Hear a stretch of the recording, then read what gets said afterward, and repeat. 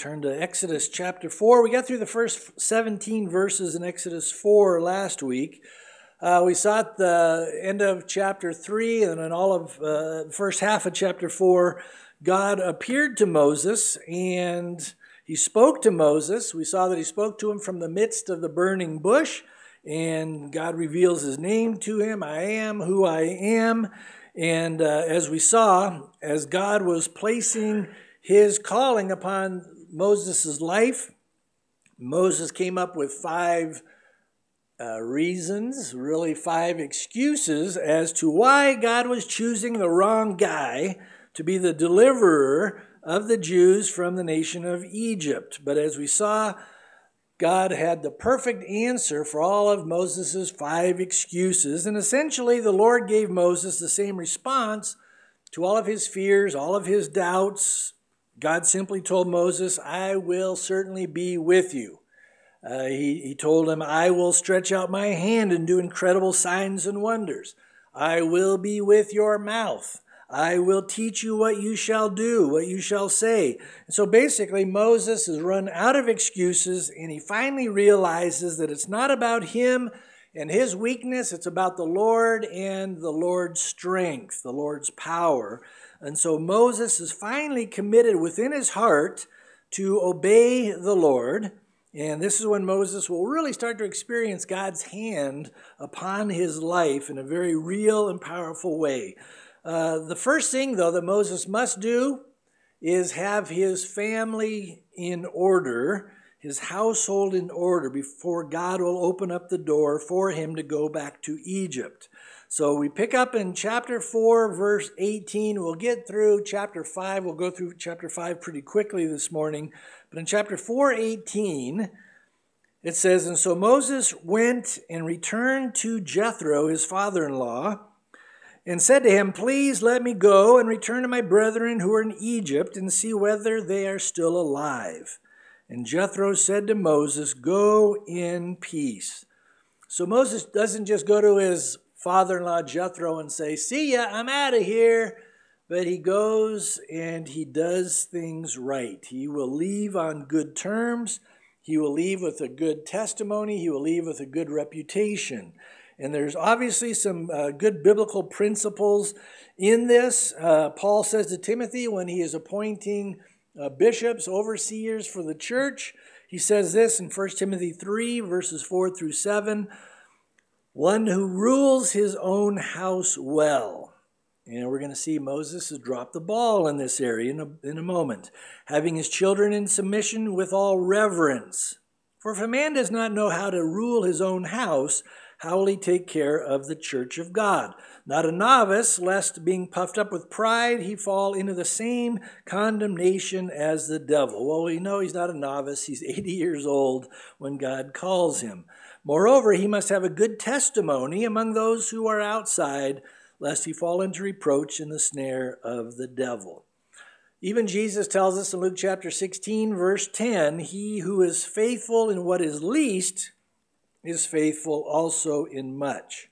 He who is unjust in what is least is unjust also in much. And so Moses is being faithful to his father in law. Uh, besides, Jethro has been his boss for 40 years. I mean, he has been tending his father in law's sheep all this time. And I'm sure that Moses explained to Jethro all that God told him at the burning bush, all that he was commissioning him to do. And uh, by the way, as we go through Exodus, we'll see that Jethro is really a good and godly man. He was a Midianite, but he believed in the Lord and he trusted the Lord. And he'll give Moses some great advice later on in his life. And so, as Moses talks with him and asks him for his blessing, Jethro simply says here, Go in peace. Look at verse 19. Now the Lord said to Moses in Midian, Go, return to Egypt, for all the men who sought your life are dead. Then Moses took his wife and his sons and set them on, on a donkey, and he returned to the land of Egypt. And Moses took the rod of God in his hand. So he's got the staff of God that he's going to be used, uh, that will be used for mighty miracles later on. And so initially, it looks like Moses and his whole family, his wife Zipporah and his two sons, are going with him back to Egypt. Now, in a moment, we're going to see they have a little friction going on in their marriage. In fact, Moses and Zipporah will uh, be separated for about a year. Now, when it comes to ministry, it's very important that the household is working together. The husband and wife need to be working as a team because, once again, Satan will attack a couple, he will attack a family, as soon as they step out in faith and say, Here I am, Lord, use me, then the enemy will go on the attack. He does not want to see people in ministry, and that's why it's so important to be equally yoked together in your marriage before you step out in faith and say yes to Jesus. Uh, when you say, Here I am, send me, like Isaiah, you better have your household in order. And I can say with all confidence that I would not be in this place of ministry without Elizabeth. Uh, even though she is behind the scenes most of the time, she is a huge part of Calvary Chapel Grand Junction. Uh, but what a blessing she's been to me, and I know she's been a tremendous blessing to many of you in here over the years as well. But even when we're on the same page, the enemy doesn't care. He doesn't care when you're walking together. He still wants to attack. He still wants to bring in discouragement. He wants to bring in frustration. Uh, he knows uh, if he can attack the leadership, not just me, but the elders and wives and everybody else, then he can try to hamper and hinder what the church is doing. So I say that to say thank you to you guys for continually praying for us. Uh, we've been in ministry for 34 years. We started Calvary Chapel 34 years ago, and God is good. He's very faithful. He's gracious. But let's face it, every single one of you in here who's born again, you have a target on your back because Satan hates you. Satan wants to steal, kill, and destroy. Since he lost your soul to Jesus, the next thing he does is try to neutralize you in your effectiveness for the kingdom of God. He will try to trip you up. He'll try to get you going back to old habits and lifestyles and different things because he'll do everything possible to keep you quiet about Jesus. He'll try to silence you at work. He'll, he'll try to get you to go back to those places of compromise. So, this is why it's so important that we put on and we keep on the whole armor of God because we are in a spiritual battle. We don't wrestle against flesh and blood. It's not a battle against Washington, D.C. Our battle is against the principalities in this world. This is what Paul says in Ephesians 6, starting in verse 12. For we do not wrestle against flesh and blood, but against principalities, against powers, against the rulers of the darkness of this age. And a lot of times they'll manifest themselves through those lovely people in Washington, but it's a spiritual battle. Always remember that against the rulers of the darkness of this age, against the spiritual hosts of wickedness in the heavenly places. Therefore, take up the whole armor of God that you may be able to withstand in the evil day, and having done all, to stand. And then Paul goes into all the different pieces of the armor that we are to put on, and it's and he, all those different pieces speak of truth. It speaks of righteousness. It speaks of the gospel. It speaks of salvation, the Word of God, prayer, perseverance. He says, above all, faith, the shield of faith that you can extinguish all the fiery darts of the evil one. So, how do we stand strong in these important areas in our walk with Jesus? By being in the Word of God, by walking in the power of the Holy Spirit, by being like we are today, with one another, encouraging each other, the body of Christ, building each other up, praying for one another, blessing one another uh, strengthening one another. Remember, there's like 32 one another's in the New Testament, and it's all about body ministry. And so, right now, here in Exodus chapter 4, it looks like everything's going to plan according to plan. Moses and his wife, his two sons, they're heading back to Egypt. Now, look at verse 21 it says, And the Lord said to Moses, When you go back to Egypt, see that you do all those wonders before Pharaoh which I have put in your hand. But I will harden his heart, so that he will not let the people go. Then you shall say to Pharaoh, Thus says the Lord, Israel is my firstborn. So I say to you, Let my son go, that he may serve me. But if you will, uh, but if you refuse to let him go, indeed I will kill your son, your firstborn. So again, this is the second time we've seen this general outline that God gives to Moses about what's going to happen. He's going to tell Pharaoh these things. Pharaoh's going to be hard in his heart. and then God's going to harden his heart. By the way, don't get hung up by the fact that it says God will harden Pharaoh's heart. When we get to chapter 7 through 12 and the 10 plagues that God brings against the Egyptians, when you see the first five plagues, after each one of those plagues, Pharaoh's about to let the Israelites go, and then it says Pharaoh hardened his heart. Pharaoh hardened his heart. And then we get to the sixth through the tenth plagues, then it says, and God hardened Pharaoh's heart. In other words, God is letting Pharaoh go the way Pharaoh's determined to go. God will do that with us. If you're determined to resist the Lord and the work of the Holy Spirit, and you say, I'm going to reject what God's telling me to do, eventually He's going to say, Okay, I'll let you go the direction you want to go. And we'll see that God basically tells Pharaoh, If you want to continue to rebel against me, then my spirit of conviction is going to be withdrawn completely from you. Now, what does the Holy Spirit do to people today? It's John chapter 16, verse 8. That's the ministry of the Holy Spirit. Jesus is very clear when he says, when he comes, when he has come, the Holy Spirit, he will convict the world of sin and of righteousness and of judgment. But once again, if a person continues to reject God, they continue to resist the convicting work of the Holy Spirit, eventually God may give them over to a depraved mind. And that's a scary thing. That's a scary place to be. But over and over in Romans 1, we read of a human and their heart going from bad to worse. And it says there in, Romans 1, a couple places, therefore God gave them up to uncleanness. For this reason, God gave them up to vile passions. And then it gets further down, it goes to uh, Romans 128 and it says, And even as they did not like to retain God in their knowledge, God gave them over to a debased mind to do those things which are not fitting. And so you just see this devolution away from God where they start worshiping the creation rather than the creator. Sound like the new Green Deal or what? I mean, everybody's wanting to worship Mother Earth, but as we saw in the book of Revelation, Father God has the final say. He will destroy so called Mother Earth, but he's going to create a whole new heaven and a whole new earth in the future.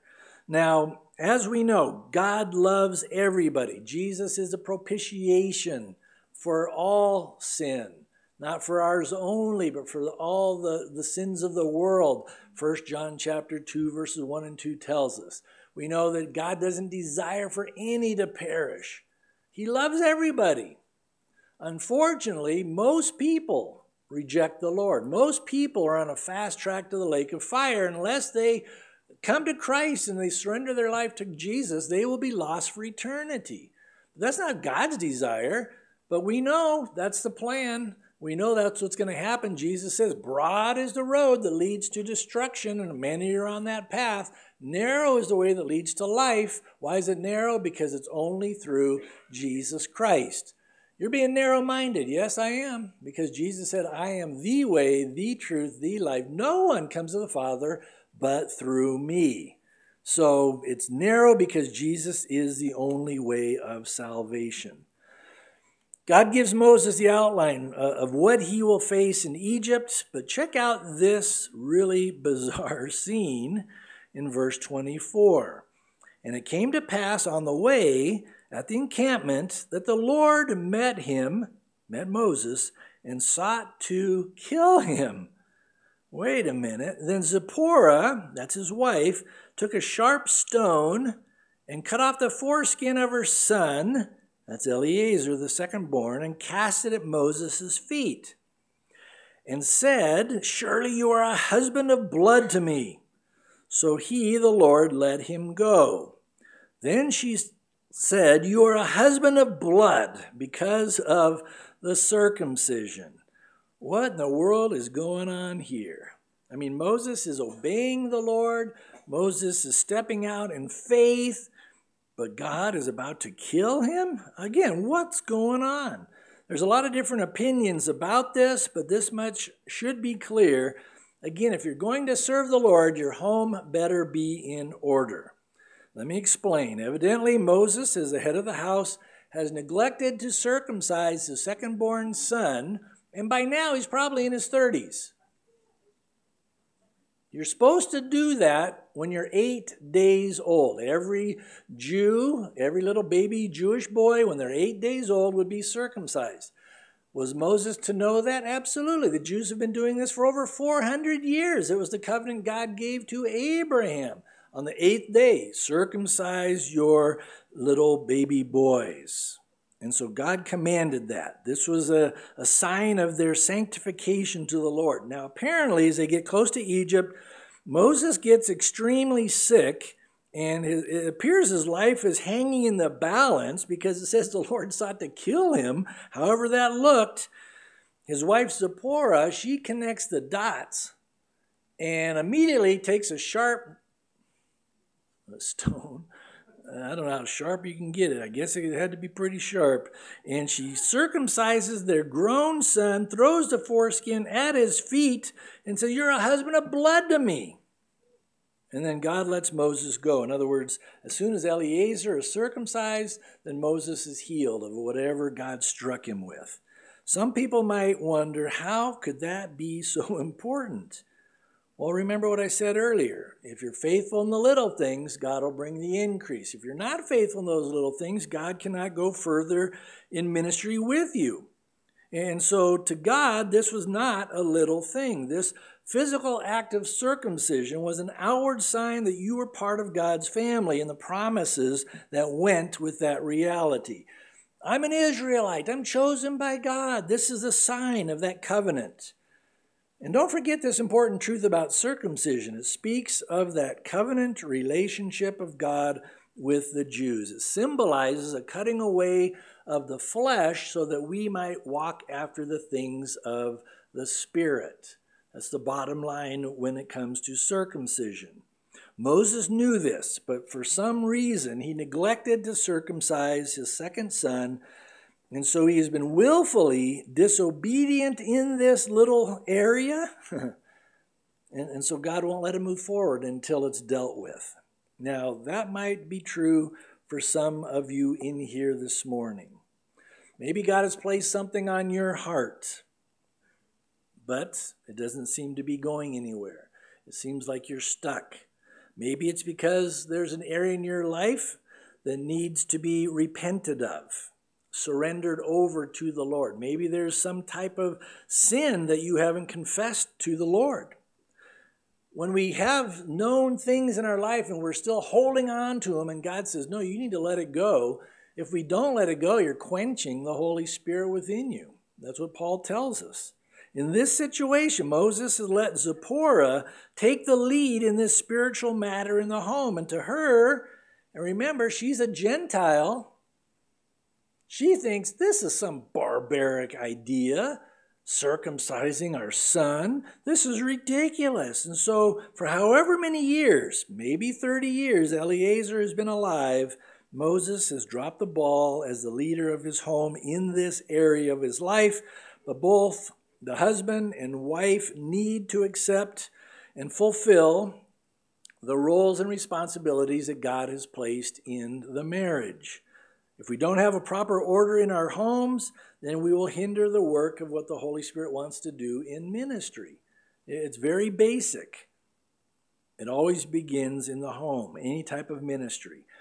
I always like to point out that the outline for a good godly marriage it's Ephesians chapter 5 and it starts off in Ephesians 5:18 and do not be drunk with wine, which is dissipation or wastefulness, but be filled. That literally means be being filled, continuously be filled with the Holy Spirit. And when the husband and wife are both walking in the power of the Holy Spirit and the fruit of the Spirit is being produced in our lives, there'll be love, there'll be joy, there'll be peace, patience, kindness, goodness, gentleness, faithfulness, self control.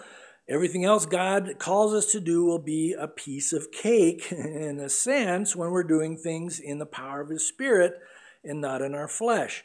So then, when you get to verse 21 of chapter 5, the next thing, as you're filled with Spirit, he says, submitting to one another in the fear of the Lord, in the fear of God. In other words, only God is the supreme authority. We, as a husband and wife, are under His headship, under his authority first and foremost. And only then, when you're walking in the, the Spirit, do the following verses apply and make sense and are able to be lived out, starting in chapter 5, verse 22 of Ephesians. This is what God tells uh, the Apostle Paul to write, and, he, and he's very clear here. Wives, submit to your own husbands as to the Lord. For the husband is head of the wife, as also Christ is head of the church, and he is the Savior of the body. Therefore, just as the church is subject to Christ, so let the wives be to their own husbands in everything. And that means everything that is godly and good. If a husband ever said, okay, go sin, we need some extra money, then the wife would say, absolutely not. Why? Because I must obey God rather than men. So he's not saying you're inferior as a wife. Don't ever have that thought in your head, husband, your wife is inferior. She's not. Elizabeth's a lot smarter than I am in a lot of ways. But that's the order God established. Just like you have Father, Son, Holy Spirit, co equal, co eternal, there's order. Even in the church, there's order. You know, Jesus is the head of the church, and he places elders, and all of us are here, but it's order. God is a God of order. So, first of all, wives, submit to your own husbands, not because you're inferior, but this is God's plan for successful marriage. Verse 25, here's the husband's role. Husbands, love your wives. That's agape. How can you have agape love? That comes from the Holy Spirit. Well, you better be filled up with the Holy Spirit if you're going to love your wife, just as Christ also loved the church and gave himself for her, that he might sanctify and cleanse her with the washing of water by the word. And so that's really the outline for successful marriage. So Moses and Zipporah's marriage was a little out of order, and God is going to give them a timeout for about a year. They're going to have a timeout. Zipporah will take the boys back to her dad's home, Jethro's house, and we'll see the family will be reunited in chapter 18. So, husbands, be careful. We need to set the spiritual tone in our homes. God wants us to step up, be a strong, loving, godly man, a man of God within our homes. And, spiritual circumcision is still a very important practice that all Christians need to be aware of. Not just men, but all of us need to be aware of spiritual circumcision. In other words, anytime anything fleshly starts to cling to you or your heart, you cut it away. You get rid of it. That's what spiritual circumcision is all about. You humble yourself before the Lord. You repent. That's spiritual circumcision. If you don't, it'll hinder the things that God wants to do in and through your life. If there is anything like pornography in the home, get rid of it, cut it away. If there's anything like alcohol or drug abuse or anything sinful, cursing, whatever it might be, get it out of your home. I mean, what Moses did, or in this case, what Moses did not do, halted the plan of God to deliver 3 million people from bondage for however long this season was out there in the wilderness. So, God, to him, it's a big deal. But by God's grace, uh, by his mercy, his plan is now back on track. Um, speaking of spiritual circumcision, this is what Paul says in Romans 2 28 and 29. For he is not a Jew who is one outwardly, nor is circumcision that which is outward in the flesh, but he is a Jew who is one inwardly. And circumcision is that of the heart, in the spirit, not in the letter, whose praise is not from men, but from God. And so, spiritual circumcision, cut out those things that are a stumbling block, a hindrance in your life. Jesus said the same thing hey, if your eye causes you to stumble, pluck it out. Now, is he talking literally? No. Pluck out your eyes. Pluck, cut off your tongue. Cut off your hands. Cut off your feet. If I cut off everything that would be, you know, that I stumbled over the years, I'd be a stump. It's a spiritual cutting away, is what he's talking about. Now the scene shifts a little bit, and God is going to speak to Moses' older brother, Aaron. Look at verse 27. And the Lord said to Aaron, Go into the wilderness and meet Moses. So he went and met on the, the mountain of God, met him on the mountain of God and kissed him. And Moses told Aaron all the words of the Lord who had sent him and all the signs which he had commanded him. And remember, this was not God's perfect will to have Aaron involved. God's perfect will is Moses, I'm choosing you. You alone are going to go and stand before Pharaoh. You're going to do these miracles, these signs that I give you, and you're going to lead my people out. And Moses kept saying, No, I can't do it. I can't do it. And then finally, send somebody else. And God was angry. It says a fire was kindled against Moses, anger from the Lord. And he says, Okay, your brother Aaron, he can speak well and then he lets Aaron come alongside of him. That wasn't God's perfect will, but this is God's permissive will. God wants us to hear, God wants us to obey. One way or another, God will always accomplish his plans and purposes, but if we just did what God wants us to do from the beginning, I'm sure things would go a lot smoother. There would be less complications. So, anyway, the brothers reunite. Aaron is 83 years old, Moses is 80 years old, and so these two seasoned citizens are going to be used by God to deliver about 3 million Jews from bondage in Egypt. God will use them for his glory. We know Aaron will eventually become uh, the high priest, the first high priest in Israel. Look at verse 29. Then Moses and Aaron went and gathered together all the elders of the children of Israel, and Aaron spoke all the words which the Lord had spoken to Moses. So here again, this is supposed to be Moses talking to all the elders. These are all the tribal leaders, the 12 tribes of Israel, the leaders there. It should have been Moses talking, but Aaron's telling these guys what Moses told him to say. Then he, this is Moses, did the signs in the midst of the people, so the people believed. And when they heard that the Lord had visited the children of Israel and that he had looked on their affliction, then they bowed their heads and worshiped. So long, uh, I mean, eventually God gets him where he wants him to be.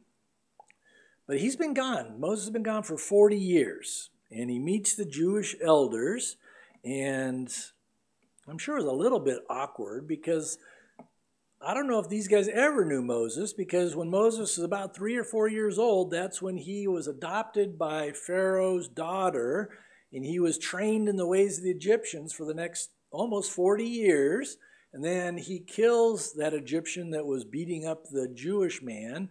And when Pharaoh hears that Moses killed an Egyptian, he wants to kill Moses. So that's why Moses fled for 40 years.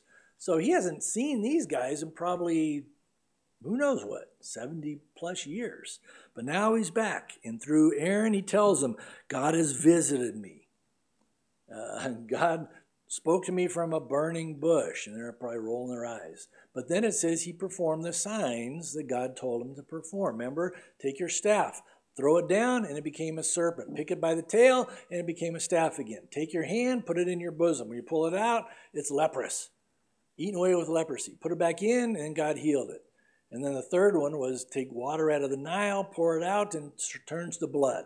So when they see that, they get excited. They realize God is here. He is hearing what we've been going through. He's been watching over us. And it says they bowed their heads and worshiped. That's a natural response when you realize, wow, God does care.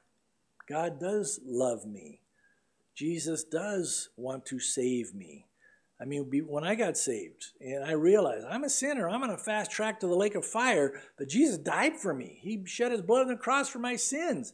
And he, I received him as my Lord and Savior. And from that moment on, it's like, how can you not worship the Lord and thank him for everything he's done? Praise God for who he is, that he'd save a wretch like me and most of you in here. But he saved us. And so we worship him, we praise him. He gave us eternal life, he set us free from all of our sins.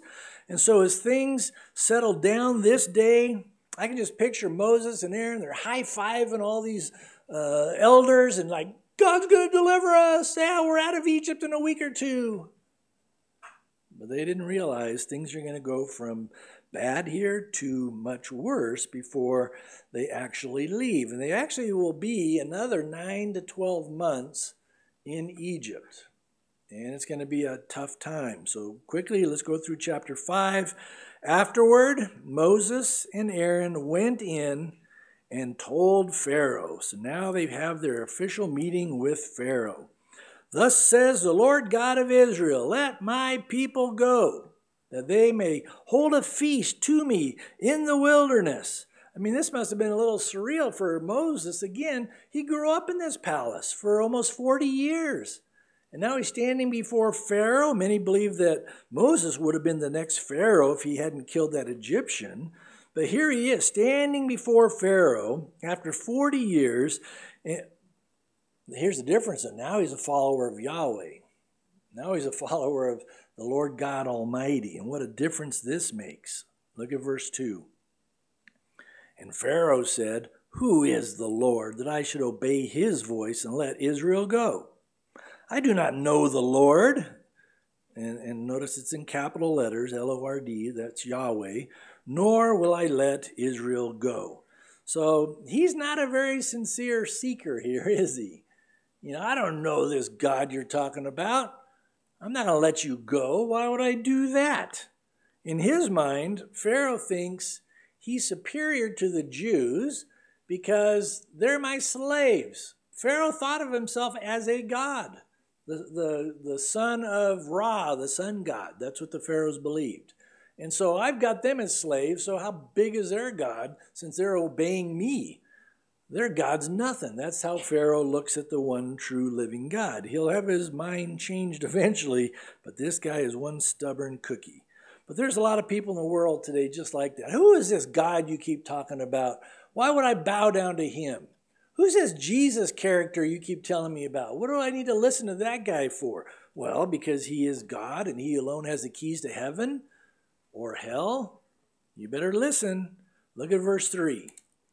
So they said, Moses and Aaron, the God of the Hebrews has met with us. Please let us go three days' journey into the desert and sacrifice to the Lord our God, lest he fall upon us with pestilence or with the sword. So they're being very polite here. Please let us go just three days' journey into the desert. We just need to sacrifice to our God. That's a reasonable request. The king of Egypt, verse 4, said to them, Moses and Aaron, why do you take the people from their work? Get back to your labor. And Pharaoh said, Look, the people of the land are many now, again, almost three million, and you make them rest from their labor. And so he's not even going to entertain the idea. This shows us how stubborn Pharaoh's heart is. This is a reasonable request. You think he might cooperate with the Jews? You know, he's been working them literally to death. In fact, you know, if he gave them a little time out, a little time off, maybe they'd come back and work harder. But Pharaoh was going to have to learn the hard way that God Almighty is the one true God. He's infinitely greater and higher than any of the pagan gods of Egypt. So look at verse 6.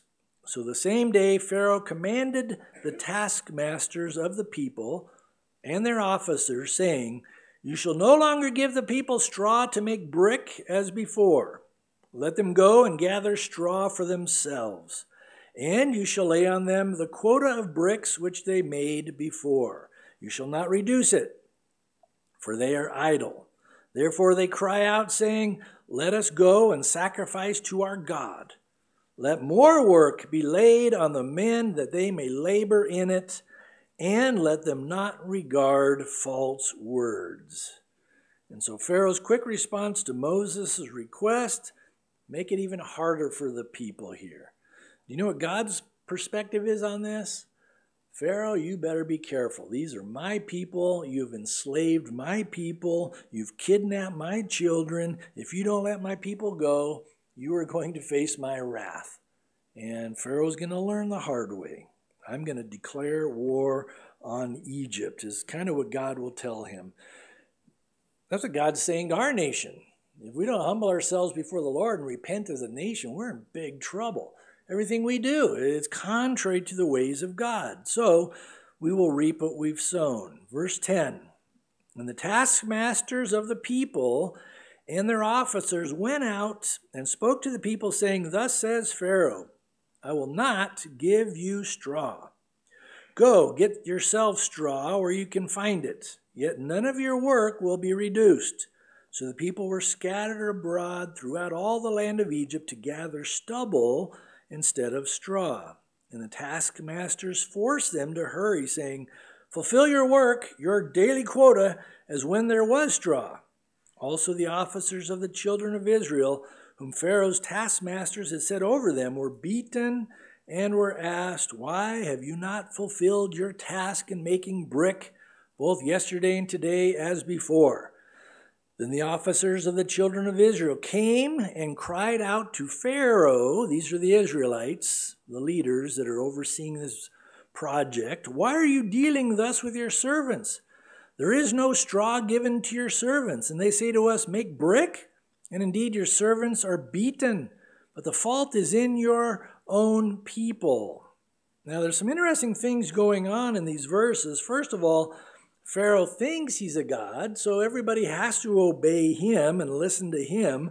But on a practical note, he's got over a million Jewish men who are his labor force.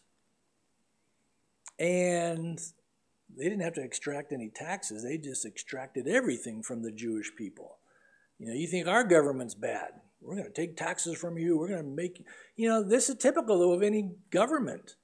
They'll take, take, take all they can get. And none of those politicians will lift a finger to do anything. They'll just tell what everybody else what to do. You work, you supply for me, and we got these senators, we got these presidents. Where do they get these four or five mansions? Millions of dollars each one on a government salary? That's, it blows me away how they make some extra money on the side.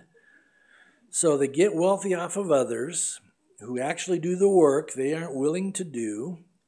And so Pharaoh looks at Moses as a troublemaker. He's Pharaoh saying, "Yes, that Moses guy. He's putting these thoughts in your head that you guys should be free, that you should be able to go out and worship your God." And in Satan's world, Satan cannot have that take place. So prior to Moses showing up, the Egyptians, they supplied the Jews with all the straw. They would take the straw, mix it with the clay, and that's how they formed their bricks. Now, they said, We're not going to supply you with any straw. You got to go get your own. So they find stubble. They'll dig up roots. They'll find whatever they can to mix with the clay. And it's not a good thing. They have the same quota put upon them. Now they're having to do a lot more work. And so Pharaoh wants the Jews to gather up their own straw, keep the same number of bricks. If they didn't meet their quota, then they were beaten. Sounds like slavery to me. So many nations have been involved in this. But it's interesting that in the two major cities that the Jews built during this time in Egypt, Pithom and Ramses, archaeologists have discovered that when they dig down, they find the first layers of all their buildings had bricks made with straw. The next layer had all these bricks with stubble and roots in them. The top layer just had clay, nothing mixed in. So archaeologists actually give us evidence of what the Bible says is true. Now, another thing worth noting here is in verse 15 says the officers of Israel cried out to Pharaoh. In other words, they're so spiritually beaten down at this point, they don't, even realize God is with them. God cares for them. God wants to bless them. And so they cry out to Pharaoh and not to God. How often do we do that? Again, watch a little news, whether it's CNN or Fox, doesn't matter. You can put any of them on. And after about 10 minutes, I'm like, ah, you stupid politician. Ah, you cry out. No, we need to pray for our leaders. You can pray like David. God, just kick him in the teeth. I don't care. Just pray the way God puts on your heart. But I mean, we, we, we're supposed to pray for our politicians. Anyway, sorry. Um, sorry, not sorry. But how does Pharaoh respond to their cry? Look at verse 17. But he said, You are idle, idle. Therefore you say, Let us go and sacrifice to the Lord. Therefore, go now and work, for no straw shall be given you Yet you shall deliver the quota of bricks. And the officers of the children of Israel saw that they were in trouble after it and said, You shall not reduce any bricks from your daily quota. Then, as they came out from Pharaoh, they met Moses and Aaron, who stood there to meet them. They're like, How'd it go, guys? and they said to them, Let the Lord look on you and judge. This is what they're telling Moses and Aaron. Because you have made us abhorrent in the sight of Pharaoh, in the sight of his servants, to put a sword in their hand to kill us. So they cry out to Pharaoh, and Pharaoh basically says, Well, it's Moses' fault. So now they go to Moses, say, Hey, this is your fault. To them, this was the last straw. Okay, some of you got the first service, only one person got that. Still not enough to repeat, so I won't use that again. Anyway, they're actually fighting a spiritual battle again with fleshly methods. They're all mad at Moses, they're all mad at Aaron, but all that does is make things worse. We should always go to the Lord first. Whatever issue we have, whatever problem we have, take it to the Lord first. 2 Corinthians 10, starting in verse 3 For though we walk in the flesh, we do not war according to the flesh. For the weapons of our warfare are not carnal, but mighty in God for pulling down strongholds. So always remember the battle belongs to the Lord. Seek Him first and foremost. Now, what's amazing to me is what Moses does not do. He doesn't respond in anger. I mean, I, I've been known to do that over the years. Somebody would be mad and yell at me, and I'm like, Rrr. I mean, I used to throw baseballs at guys' head as a pitcher at San Diego State on purpose. You know, so God's still cutting things out of my life.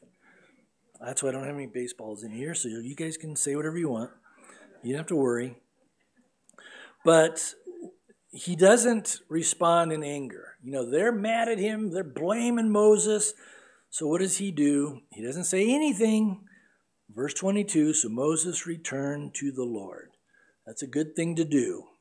But notice how troubled he is, hurting, confused. He says, Lord, why have you brought trouble on this people? Why is it you have sent me?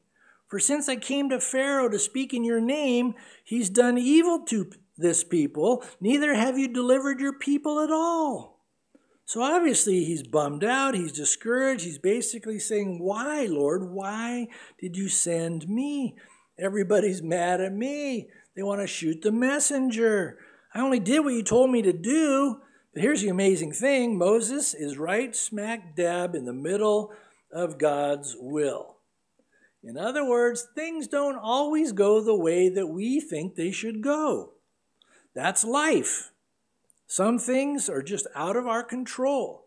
Even when we're doing God's will, even when we're obeying God's word, you might lose a job. You might have somebody walk out on you. You might get sick. You might get hurt. But this is when we need to walk by faith and realize God is not done. He's not done with Moses here. In fact, look at the very first verse of chapter 6. We're not going to look at it much, but it just says, Then the Lord said to Moses, Now you shall see what I will do to Pharaoh. So you haven't seen the whole picture yet, Moses. You're just focused on they're mad, they're upset, they don't see what's going on here you haven't seen what I'm going to do yet. And so often that's where we are in life. We get hurt, we get discouraged, we get bummed out, something happens in our family, and that's all we can see is right in front of us. But God's not done. The best is yet to come. It looks bad for Moses right now, but read ahead. God is going to do some amazing stuff very soon, and Moses is going to be blown away. But even if everything in your life for 80 or 90 years, however long you live to be, even if everything, as a Christian, everything's going wrong, everything's going bad, so what? You got eternity with Jesus in glory. That's the bottom line. It's not your best life now. Joel Osteen got it wrong. This is not our best life. Our best life is when we stand in the presence of Jesus and see Him face to face in our resurrection bodies. People always question God. They get mad at God. Why this? Why? Why not? We live in a fallen world. We're all going to die unless the rapture takes us home before. But This is what life is all about serving the Lord, living for the Lord, hearing Him say when we get to glory, Well done, good and faithful servant. Enter into the joy of your Lord. It's not about what I can get out of this life before I die. It's not who dies with the most toys that wins. That's a lousy bumper sticker. It's who dies with Jesus. That's the bottom line. You might have a short life. I mean, I think of Keith Green. Remember, he was 28 years old when he died in that plane crash with his two kids Josiah and Bethany. That's where our daughter got her name from, their daughter Bethany. I mean, it grieved me. I was a young Christian when he died. I'm like, oh, Lord, why? I don't know why. He lived for Jesus for 28 years. Well, no, he lived for Jesus for about seven years. You know, and then the Lord takes him home. Some other people, they might live to be 100 years old. Moses lived to be 120. Doesn't matter. You know, it's not the birth date and the end date, it's that little dash in between. Are you living for Christ and hearing Him say, Well done, good and faithful servant, or are you wanting to live for the applause of men? This world is fickle, people are fickle. I do this to be pleasing to the Lord. If anybody gets anything out of this, praise the Lord. And so I've tuned people out over the years, like, yeah, they got a lot of criticisms. They got to, they, they you know, they point out, oh, he wears Hawaiian shirts. What's wrong with this guy? How come there's no stained glass? I mean, you can come up with any kind of weird reason you want, but God's word is the final authority. And He doesn't want you being discouraged and bummed out and just throwing in the towel. He says, No, I am with you always. I will never leave you or forsake you. I am all that you need for life and victory. Keep your eyes on Jesus. Good.